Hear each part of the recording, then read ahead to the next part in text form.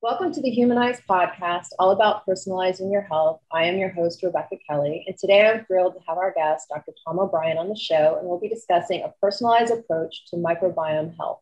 Before I introduce Dr. O'Bryan, I want to remind everyone to subscribe and get all of our variety of casts in audio, video, and transcription at humanizedhealth.com. I'd also like to thank our lead sponsor, Village Green Apothe- Apothecary at myvillagegreen.com. And a little bit about Dr. Tom O'Bryan. He's a recognized world expert on gluten and its impact on health.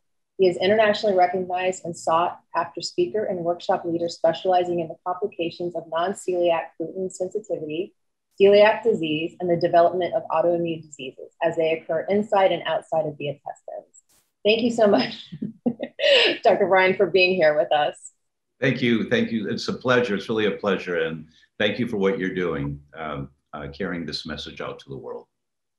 Love it. Love, love sharing. I, I've just actually finished your book, You Can Fix Your Brain, and now I've opened it back up and I'm on reading it the second time. So you have so much to share. So we're so glad you're here to talk about this. So you know, you know, I tell people just open the book to any page, read one paragraph. If it doesn't grab you, don't buy the book. Right? it should be that way. It should. What? What did he just say? So thank you. Thank you. So let's jump right in and, and give a little teaser. So, what constitutes a healthy gut microbiome? What we have to understand is the importance of a healthy microbiome. 36% of all the small molecules in the bloodstream at any one time, over one third of everything in the bloodstream is the metabolites or the exhaust of the microbiome in the gut. I, I call it exhaust. But these bacteria produce metabolites, and these metabolites go into the bloodstream, one third of everything in the bloodstream. Why? They're messengers. And the messengers, we know for every one message from the brain going down telling the gut what to do, there are nine messages from the gut going up telling the brain what to do. The ratio is nine to one. That's why the gut is called the second brain. And those messages tell the brain make this amount of neurotransmitter, brain hormones like serotonin, make this amount of melatonin, make this much brain derived neurotrophic factor. All these different hormones that balance the brain are, are produced in the volume that is controlled by the bacteria in your gut. So if you have too many of the wrong type of bacteria in your gut, sending a whole lot of their messages, overpowering the messages coming from the good bacteria in the gut, you make too much imbalance of neurotransmitters in your brain, you get depression or you get anxiety. Just go to Google and type in depression and brain function and look at all the studies that come up because uh, scientists are just blown away by this. So, what what makes a healthy gut? It's the balance of so many of the good bacteria and not too many of the bad bacteria. So, what factors can influence then one's microbiome composition? Oh, it starts with um, uh, being in mom's womb. That we know now that mom's microbiome implants into baby in utero so babies' initial bacteria in their gut are determined by mom. And moms, and that's why we talk about the uh, uh, generational influence on our health. That we can be carrying bacteria from mom, from her mother, from the great grandmother, that those concentrations of bacteria can influence how baby's brain is developing. So it starts in utero. Then the birth process. If you have a natural childbirth, we know in the last month of pregnancy, the, the bacteria in the vaginal tract completely changes and it becomes very dominant in something called Prevotella. Prevotella, and it's not hardly identifiable at any other time in a woman's life, only in that part of pregnancy in the vaginal tract. Why? Prevotella carries the messages as babies coming down the birth canal, covered in all of the juices of the reproductive tract. The bacteria is getting in the eyes and the nose and the mouth, baby swallowing it, and it's saying, okay, here's, here's the code of the person who's going to be feeding you. So here's the code of the food that's going to be coming. So let's make these digestive enzymes, stomach and pancreas. Let's start making these enzymes and bacteria in the gut. Let's start colonizing more of these. And that's what the bacteria in the vaginal microbiome does. So when baby is born by a natural childbirth, baby's getting the right messages. When baby unfortunately needs to be born by uh, cesarean section, like our son, uh, it was a traumatic birth and he's really healthy now, but at that time, um, uh, last minute emergency, born by C section. The microbiome that he was born with was highly compromised. The studies are really clear.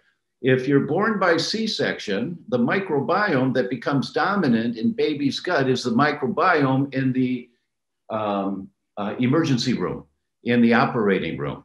And in hospitals, there's lots of bad bacteria, and but it's in the air and it's on it's on the gloves. They put clean gloves on and clean gowns, but they've got this bacteria that's in the room, and that becomes the dominant bacteria in baby at birth. So many babies are born with a deficit. Then, during the course of infancy and childhood, some babies, some children require antibiotics for one reason or another antibiotics can be life saving. If they're important, you take them. But you have to recognize that the antibiotics don't just kill the bad bacteria, they also kill the good bacteria. And so, if you have to take antibiotics, you need to do an aggressive approach to rebuild the natural microbiome. And then it goes on from there with the foods that we eat, the house that baby lives in, the air that baby is breathing. There are so many influences on baby's microbiome that it takes mom or a family months to learn all of this and to begin adapting and transitioning their lifestyle to create a healthier environment for the family. You don't pick this up by taking one pill. You know, well, I'll take a probiotic. Well, that's going to help a little bit, but it doesn't fix everything, right? So there's a whole game plan that you have to develop to rebuild a compromised microbiome or to maintain a healthy, balanced microbiome. Wow. So, what is the best way then to test or understand your own microbiome?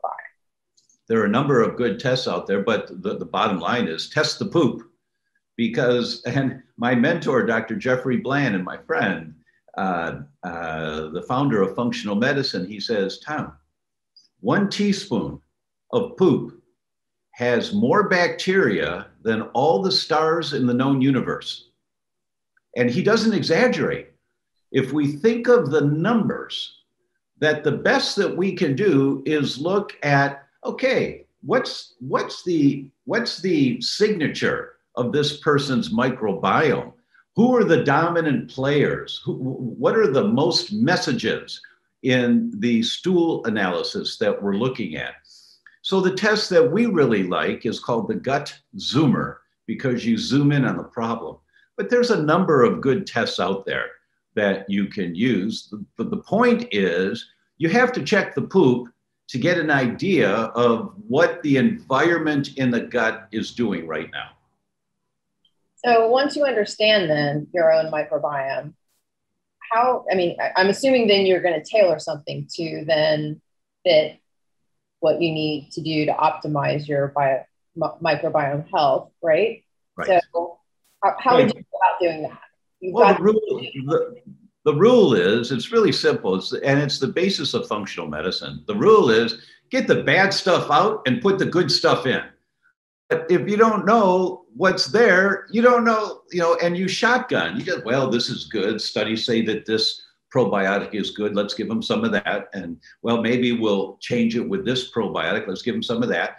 And that's helped. I mean, I did that for many, you know, starting in 1980 when I opened my practice. We were talking about these bacteria with names like Lactobacillus acidophilus and Bifidobacterium. I mean, it's Greek. It's Greek. It sounds like Klingon language, and you don't know whether to welcome them or shoot them. You know, you don't know. But now we know more And so it's really important if you have a health concern that you you get a big picture overview of what's going on in your gut right now. That's critically important. So once you understand that you've got, oh, look, it says that I've got too many families of bad bacteria, and they're really a strong message, which means their exhaust is getting into your bloodstream and they're sending messages to the brain, to the joints, to the skin, to your heart, directing a more inflammatory environment. And we know all disease, all chronic disease is inflammatory in nature. Well, if you want to deal with a chronic disease, irrespective of what it is, reduce the inflammation. And the first, the first place you have to go for that is the gut. That's why um, at Harvard, um, our gastroenterologists and immunologists in the medical school are being trained right now. And the head of the chief of pediatric gastroenterology at Harvard just published a paper all disease begins in the quote leaky gut. All disease begins in the gut. That's how important it is to address the gut. That's why this topic is so critically important for everyone's health, for them and their family. Wow, thanks, Dr. O'Bryan. Those are really valuable insights. Dr. Tom O'Bryan can be found at www.thedoctor.com. That's T H E D R.com. Let me remind you to subscribe and get access to all humanized videos, podcasts, and transcriptions from all of our thought leaders on personalized health at humanizedhealth.com. Thank you so much for being with us.